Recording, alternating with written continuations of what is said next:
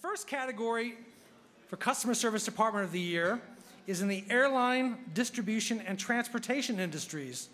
And the 2012 Gold Stevie goes to Bombardier Aerospace of Toronto, Canada. Accepting the Gold Stevie Award is Todd Young, Vice President for Customer Services and Support. Customer Services and Support is the customer services organization for Bomb- Bombardier Aerospace, commercial aircraft. Well, good evening, everyone. And uh, this is a great honor for our uh, customer service and support team at Bombardier Aerospace.